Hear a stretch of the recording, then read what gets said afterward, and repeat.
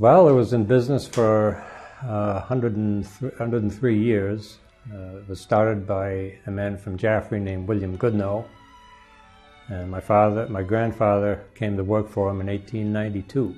He and his brother ran the store up until the 20s. And then my father and uh, one of his brothers came in uh, in 1927 and 1929, respectively. And then my brother and I came in in 1966 uh, and 1969. It was a very small store. People say we had everything everybody ever needed. Not quite. We had a lot of stuff, and a lot of people needed a lot of stuff, so that kept us going. We sold clothing that was durable, and you bought it.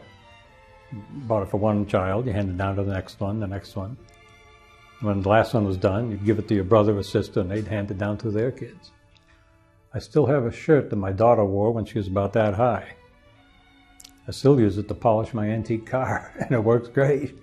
The Christmas is always my favorite time of the year didn't particularly care for the cold, but the store was all decorated, and the front windows were all nicely decorated with, with a Christmas theme, garlands all over the store, and tinsel and Christmas music in the background. And the families in there with their kids all crawling through the toy department, and uh, that was that was a lot of fun. And you'd get three or four or five generations coming into the store, and uh, you know, my, my grandfather waited on their grandfathers, and my father waited on their fathers, and I waited on their fathers. And uh, I suppose that's, uh, that speaks to a community spirit. Not only, they're not only a customer, they're, they're your friend. You see them on the street, you know who they are. And it was a stable part of the community for many, many years. And things went along pretty well, and then unfortunately the shopping centers came along.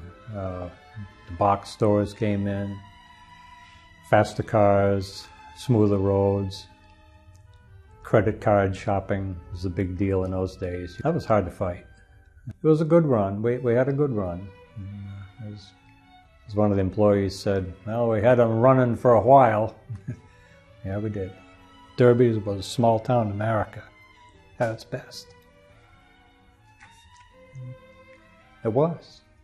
It was fun to grow up in the store, and uh, just wasn't easy to lose it.